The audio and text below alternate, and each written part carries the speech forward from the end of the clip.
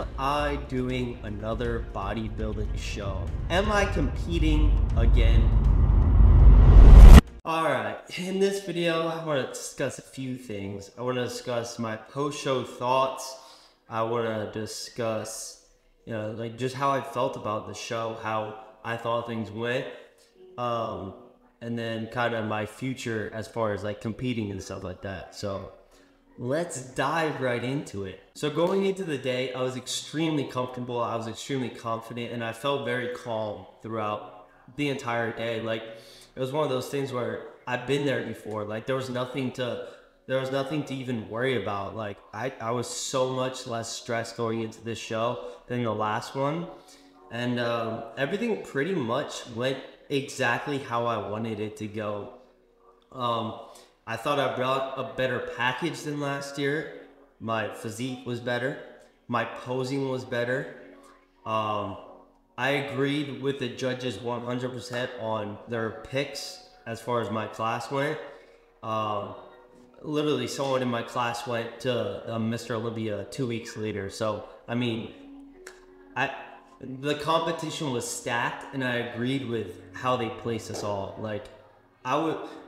The thing about me, I like competing with like the best of the best and that's exactly what my class brought was the best of the best and that's exactly what the show brought. I mean there were 600 competitors like probably the biggest show in the in the entire country but like i don't want to be performing in some middle school gymnasium for a natural competition. I know um, summer shredding isn't it's not a tested competition which sucks because like you know i'm a natural but like at the end of the day like that's the biggest stage that I can pretty much go on, like as far as without being like a pro, you know. So I'm stoked with how things went. Like top five, like that's exactly what I wanted going into the day. So couldn't be more happy with that. Um, as far as like how the video ended, uh, me having to decide whether or not I wanted to go compete in the championship the next day or just call it call it there. I'm so happy that I made that decision to call it there. Um, I just don't think I would have even placed in the championship show. Like I've I seen I seen like the classes and like kind of which classes I would have been in. I don't even think I would have placed at the championship show, which was the next day. I would have had to pay for everything, uh, get ready for everything, get the tan redone, do everything all over again. It was a quicker show, but it's still like it was still like like our show was a 15 hour day. That show was like a 10 hour day still. So it's like it would it would have just been a lot the next day anyways.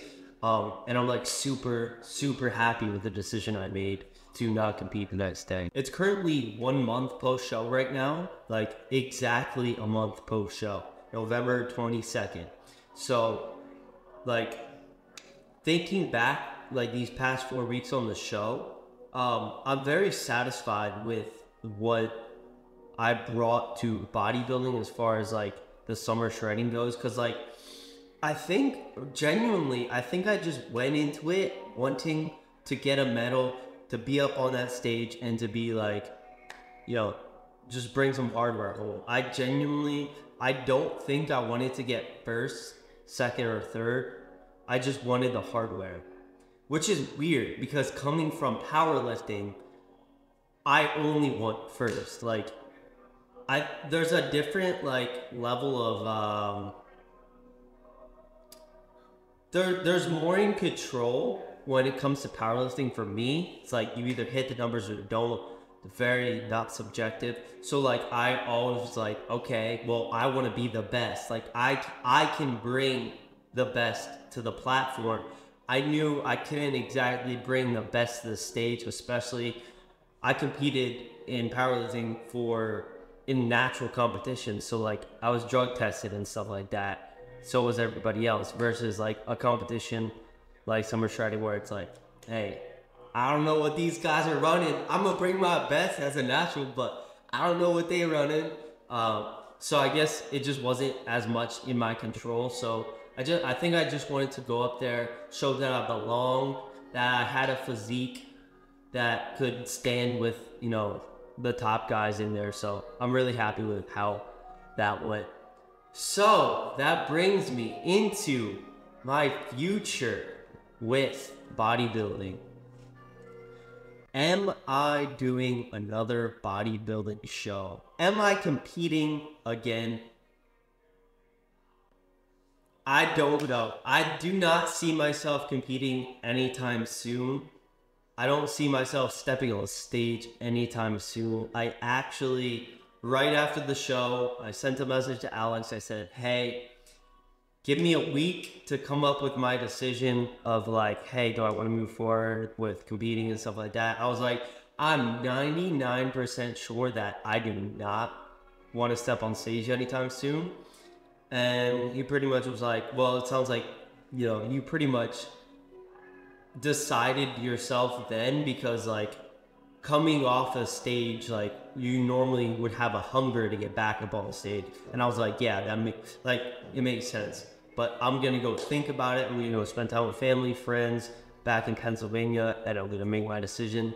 Um, my next check-in, and I basically just sent him like two huge thank you videos, essentially saying like how much I appreciated. You good? I pretty much sent him two thank you videos, just thanking him for everything he's done, thanking him for everything that he helped me achieve through bodybuilding, and just like I never would have been able to bring that physique, bring the posing, bring any of that without him, and I was truly thankful for everything that he's done for me over the past essentially two years of working with him, and I could not have asked for a better um, coach along the way. So I thank him for all that. But yeah, huge shout out to Alex, great coach. He's building something special with Team Reform. I'd love to see it. But as far as moving forward, what am I focused on? So, I'm focusing on a few things. One of the things I'm not going to mention right now because it's still in the works. I'm still working very hard on it and trying to develop uh, a big future with it as far as that goes. But as far as like competing, I want to get back into powerlifting. I mean, powerlifting just has my heart. Like, there's, I've been doing it for like the past two weeks now, and my strength is coming back. My, like, I just feel so happy. Dude, the dopamine rushes that I get during these powerlifting workouts is on another level. Like, I, there's something about powerlifting that just like it's so fun to me and I just love it so much. And it's something where in the past I've like dedicated my whole life to like powerlifting and stuff like that. I don't exactly want to do that this time around. I just want to incorporate powerlifting into my workouts and probably run up some competitions for fun. Like my next competition I'm not gonna unless I'm like within like three pounds of the weight cap or something. I'm not gonna cut for it. That's the one thing I didn't like that I had to do for powerlifting was like drop weight and cut and lose a tad bit of strength going into the the powerlifting meets. But if I just either stay at the weight class I want to or just do it for fun, like I genuinely am bringing so much more to the powerlifting this time around, knowing what nutrition does to my body from bodybuilding. Like I didn't realize how much nutrition very much affected like my workouts, how I feel, all that kind of stuff. Like I've been eating I've been eating good heading into my workouts and that's something I never did the first time around with powerlifting. Also, sleep this time around. Like I know that I was only getting like four hours of sleep every night back when I was powerlifting, doing plumbing, all that kind of stuff. I would get home from the gym at like 2 a.m.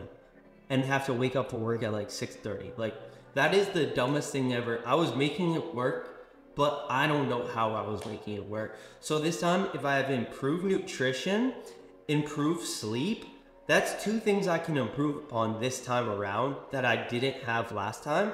And I'm telling you, I'm feeling super strong, even just two weeks into this um, powerlifting phase. And I just, I can I'm not competing until I can definitely come close to, if not definitely beat my numbers from last time. So it's not like something like I'm gonna ste- step into a meet and be like, oh, I'm gonna settle for like under 550 pound deadlift. No, once like once I'm like around that 550 pound deadlift, that's what I'll you know think about stepping into another meet. And there's two actually there's two meets here in Houston in like March and May. So if if I can get my strength back by then, who knows? Maybe I'll step in one of those.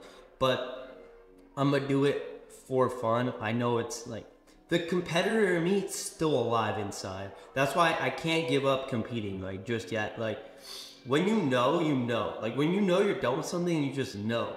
And I know that I was done with bodybuilding, but I know that I'm not done with competing. Like there's still a fire inside of me to compete again. And man, I, I love it. I love I love the feeling of like striving for something or striving for a specific like event and stuff like that. So I'm definitely not done with powerlifting just yet. But I'm gonna treat it as fun as I can without getting as too serious as I can. Like I don't want it to like take up all my time because I do have other things that I'm working on right now.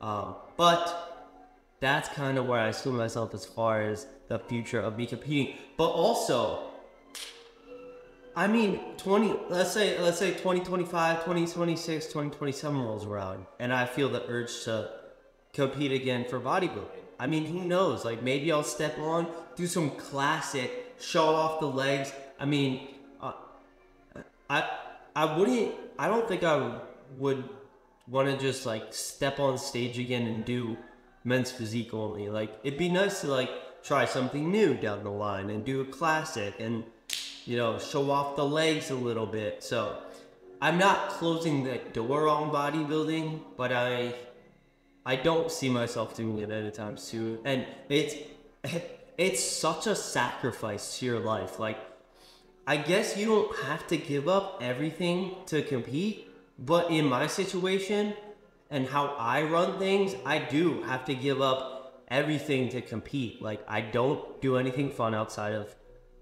of uh, like working out, doing my cardio, posing, all that stuff. I co- completely seclude myself from anything other than just training and doing cardio and posing. So it quite literally takes over my life. And I know some people they can you know go out have have a little fun like along with it, but I just don't have fun doing that because I'm. It's just like adds more to the suffering when you're just around people who are just like eating whatever they want. They're just like having all this energy and stuff like that. And I only have so much energy to give when I'm bodybuilding, and I don't I don't like to be around people and like have no energy. Like that's something I don't I don't like at all. Like the the quicker I could get from doing whatever I gotta do during the day, that's not part of bodybuilding that's the best. Like if I if I only have two hours of like other things I need to get done besides training, cardio, and posing, like that's that's good for me. So yeah, it just takes over my life, and I just don't see myself competing anytime soon. It's it's a it's a huge sacrifice, and it's not worth it in my opinion. When it just comes down to an opinion at the end of the day. But like I said, I agreed with every opinion that all the judges had on that day. So very happy with how the competition went. But other than that, as far as I guess let's let's just dive into as far as like YouTube plans go. I have a bunch of videos. There's probably two or three YouTube videos that I filmed during prep and like before the show that I'll probably put out now. I wanted to do that uh, this year. I don't know why. I just felt like recording a couple and then putting them out post show. Um, I, I, guess I just didn't feel like they were a part of the prep series. I wanted to keep the prep series, the prep series, and all that. But so I have a few of those videos on the way.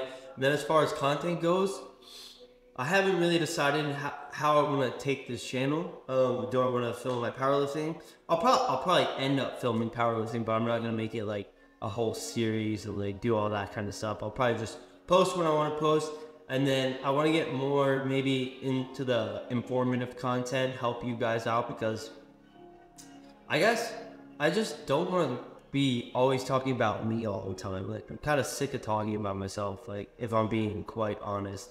Like I've documented the past 10 plus years to myself.